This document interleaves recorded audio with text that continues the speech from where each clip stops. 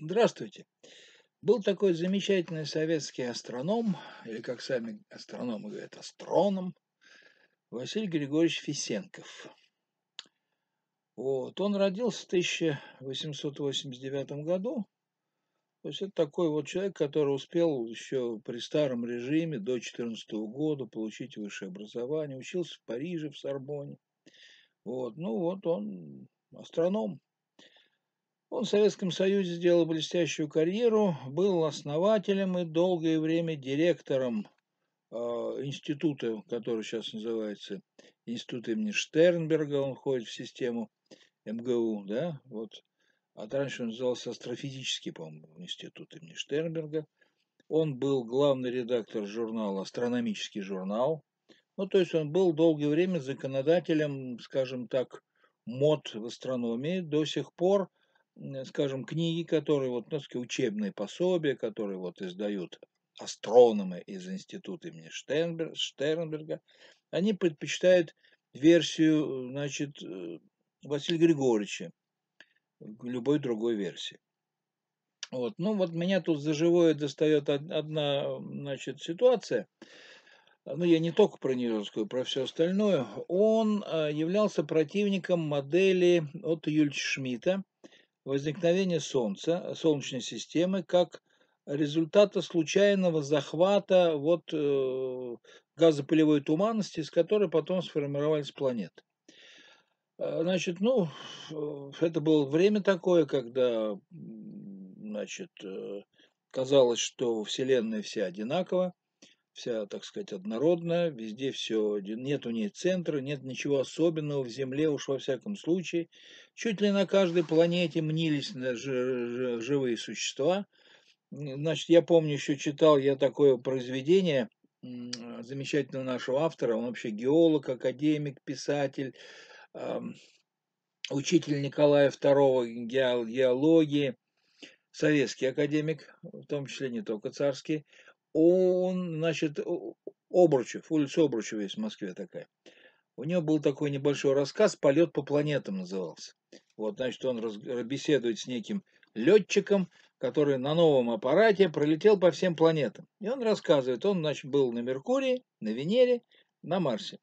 Вот так он побывал, такой полет совершил, круиз.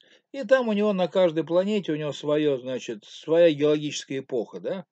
На Меркурии там летают насекомые своими этими крылышками, бяк-бяк-бяк-бяк.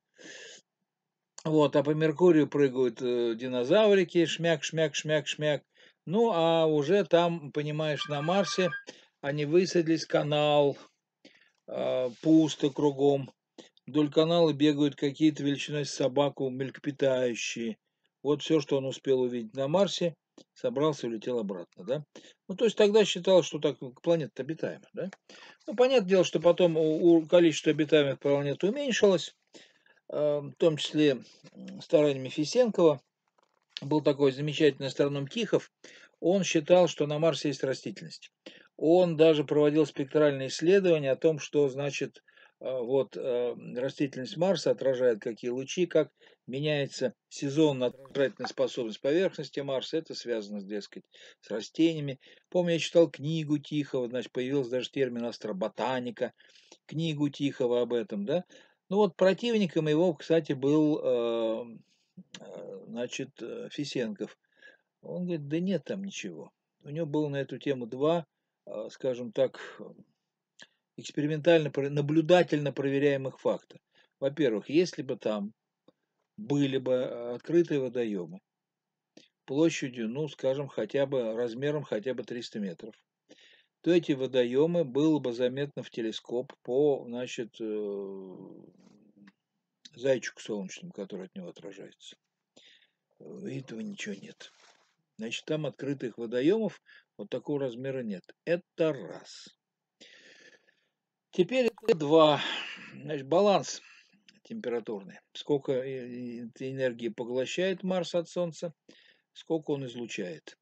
Часть энергии этой может поглощать растительность. Вот этой части нет, она нулевая. То есть вот этого дефекта энергии, поглощенной излученной, нету. Значит, там нет растительности. Это два. Вот. Ну, он оказался прав. Так вот, я читал юбилейную статью к столетию с его э, рождения в 89 году, а умер он в марте 72 И вот в этой юбилейной статье, значит, вот отмечались его, а, значит, э, дискуссионные положения, которые он высказывал, и потом говорили, что подтвердилось, что не подтвердилось. Ну, это не, не все подтвердилось. Вот. Теперь, значит, по поводу образования Солнечной системы. Честно говоря, концепция Фисенкова была очень оригинальной. Мне она, как физику ядерщика, очень даже понравилась. Значит, в э, концепции от Юльшмита, значит, в чем была изюмина? В том, что солнышко и планеты не образовались из одного облака, из протопланетного облака. Что солнышко и планеты, э, значит, э, образовались по отдельности. Солнышко образовалось, а планета Солнце подцепило где-то в космосе значит, э, облако остатков взрыва сверхновой звезды, из него-то и свалялись планета наша. Почему так? Ну, дело в том, что, видите ли, в чем дело, наша замечательная Солнечная система э, хороша тем, что у нее весь момент импульса за планетами остался, а не за Солнцем.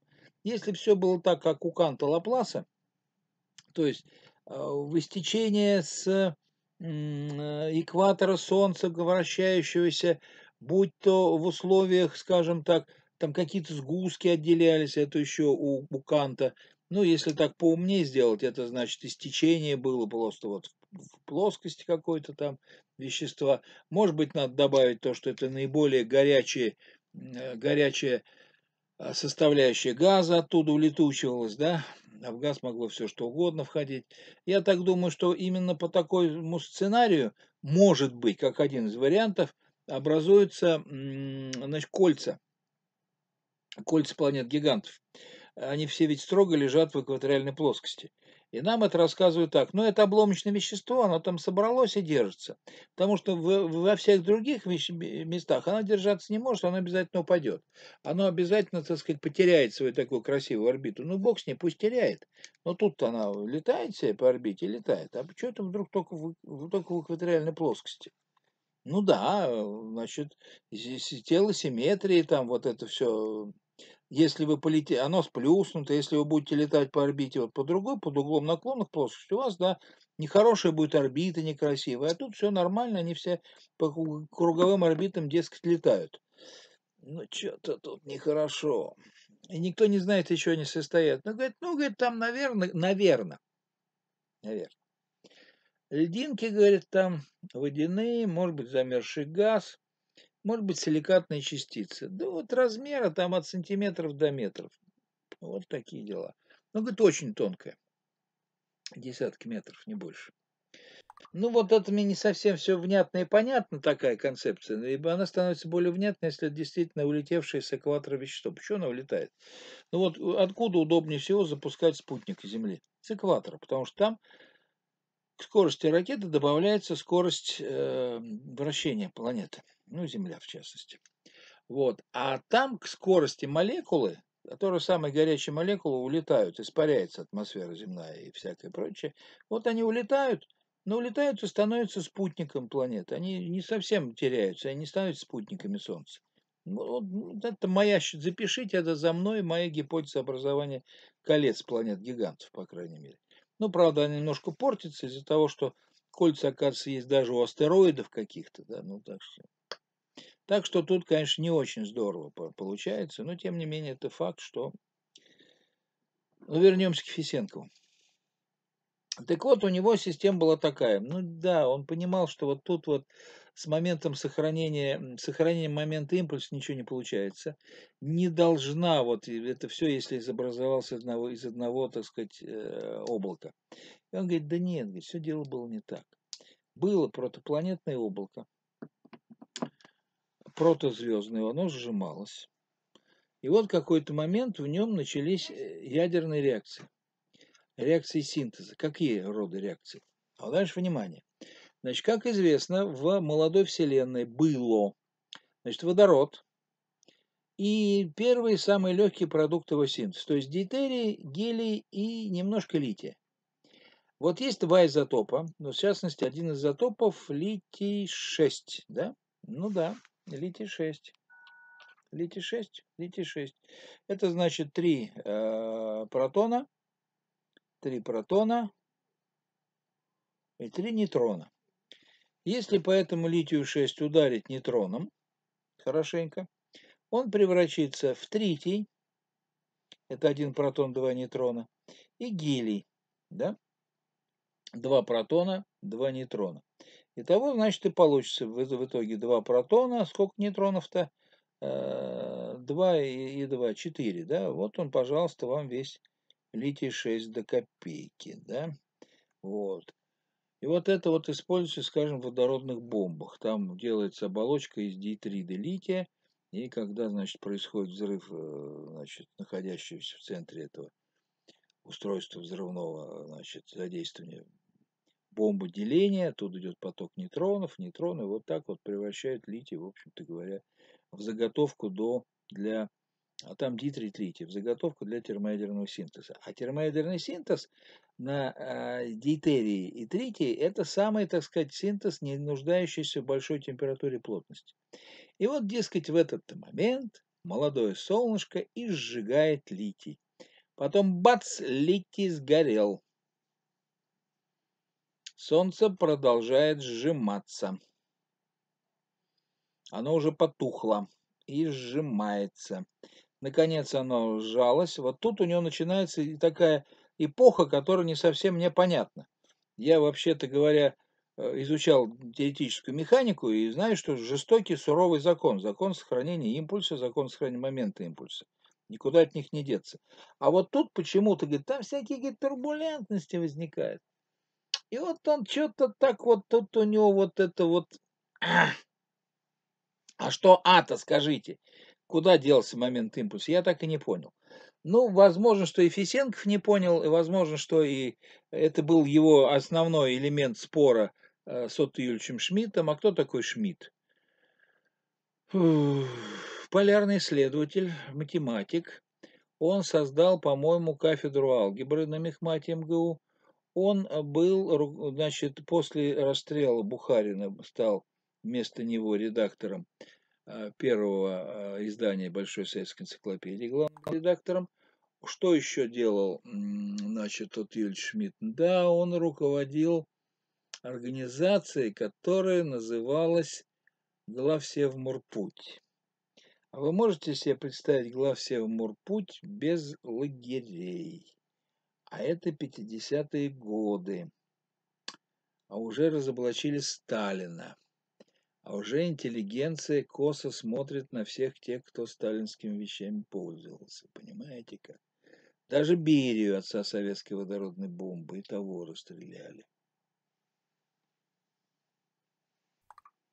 Ну, в общем, Отто Юльч Шмидт э, сидел так, не пуша особо хвост. Ну, так уж факт есть факт, что... Ну, короче говоря, Фисенков звучал. До сих пор он звучит, хотя вот мне вот, честно говоря, непонятно, как так происходит. Ну, кстати говоря, вот давайте так спросим себя, а все-таки подтвердилась гипотеза Фисенкова или нет? Ну, вы знаете, открыто уж больше двух тысяч планет экзосистем планетных. И у всех у них планетки движутся по близким траекториям, главным образом вокруг своих звезды, узким, узким траекториям, коротенький год. Ну, понятное дело, что была бы там мощная звезда, она бы ну, просто бы своей наружной вот этой оболочкой, испускающей, испускала, испускает ведь звезды так называемый солнечный ветер, потоки плазмы, да, и крупная звезда такой вот. Ну, знаете, как у нас вот говорили про планеты, которые находятся ближе, чем Меркурий. Их все искали, искали, искали, долгое время искали. Э, даже целая отрасль науки была, занималась фиксацией солнечных пятен, чтобы отличить солнечные пятна вот от э, проходящей по диску Солнца, значит, планете вот этой. Ну, планеты нет там. Ближе Меркурия планет нет.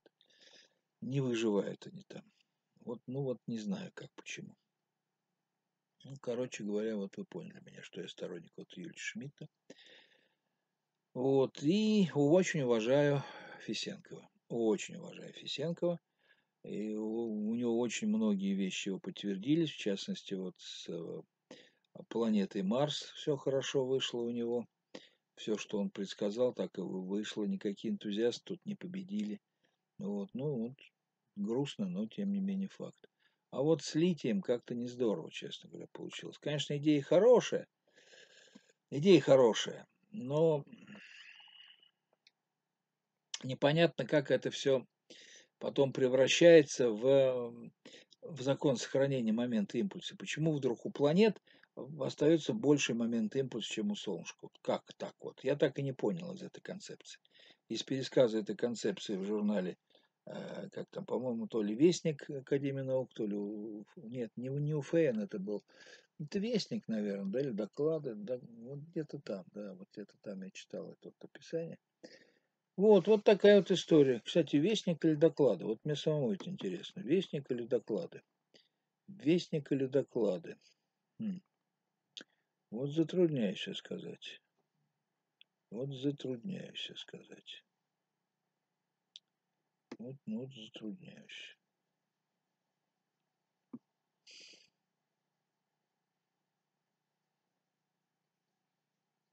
Затрудняюсь. Сейчас посмотрю, может быть, отвечу. Хотя, может, и не отвечу. Нет, не, похоже, что не отвечу. Нет, не отвечу. Ну ладно, вот история такая вот. Ну вот либо вестник, либо доклады. Вот, э, скорее всего, вестник. К столетию со дня рождения выпущена была его работа. Наверное, первый номер, скорее всего, за 89 год. Вот, вот такая вот история. Не мог промолчать, высказался. Значит, что, значит, сухой остаток. Фисенко великий астроном, раз. Отто Юльч Шмидт все-таки, скорее всего, прав, потому что его объяснение единственное правдоподобное. И, значит, э, наблюдательная астрономия это подтверждает уникальность Солнечной системы. Это два. Ну, а в силу того, что вот э, Фисенков жил в советской власти, тогда надо было доказывать не уникальность, что вообще мир безграничен, и везде только, где ну, можно, мы тут социализм можем построить, да, любые инопланетяне коммунизм строят. Помните у нас произведение замечательного нашего писателя Ивана Антоновича Ефремова, ведь у него ведь вся галактика простроила коммунизм. Ну, местные инопланетяне, у всех у них, это естественно было, ну, конечно, а куда? Других вообще не было этих самых видов э, общественной формации. Все идет по науке, вот они, общественная формация, одна за другой, день, день, день, коммунизм. И все они там были при коммунизме. Вот, вот такие вот коммунистические формации это были. Коммунизм, коммунизм был, коммунизм. Так, это два, Значит, то есть вот это вот из-за этого он, пожалуй, все старался доказать, что ничего особенного в Земле нет. все-таки это сразу было видно, что особенно, раз она э, замела планеты и э, солнце, солнышко такие большие, так далеко летающие. И плюс к этому, ну, Земля очень чудная, у нее нет сплошной, значит, коры. Вот. Он говорит, да вот Земля расширяется, а что остальные не расширяются, что Венера не расширяется, что остальные не расширяются, так не раздувает их. А вот там, ну гораздо проще, говорит, предпо... представьте, вот меня, в общем, убивает, гораздо проще предположить, что в центре Земли особая материя, которая создает материю. И Земля распухает. Ну это же так просто. Какой там мобилизм плит? Ёпрст, это просто. Особая материя. Да, это просто. Это очень естественное предположение. Да, я от него, конечно, в восторге. Ну, вот такие дела. Собственно говоря, я вам почти все рассказал. Сейчас вот э, рассказ во время эпидемии коронавируса, когда мы сидим по домам, не работаем. Преподы мы тоже не работаем, хотя мы работать-то работаем, деньги не получаем. Мы дистанционно учим, а говорят, извините, денег нет, потому что студенты-то в кассу не могут зайти. Ну ладно, хоть работаем, хоть учим. Знаете, никогда не подумал, что я такой дурак, буду учить за бесплатно. Однако учу. PayPal, Яндекс Деньги, Киви кошелек, кошелек ВКонтакте, Donation Alerts или Alerts, Alerts, да, и еще номер счета в Сбербанке, очень надежная вещь, кстати говоря, и номер Сбербанковской карточки. Все это к вашим э, возможностям проявить доброту, послать мне э, денег, да я на них собираюсь жить. Ну, а если считаете, что мне не нужно жить, то денег можете не посылать. Чего уж там жить-то? Без денег жизнь плохая, не годится никуда. Всего доброго до свидания, всех вам благ. Жду ваших денег, пока.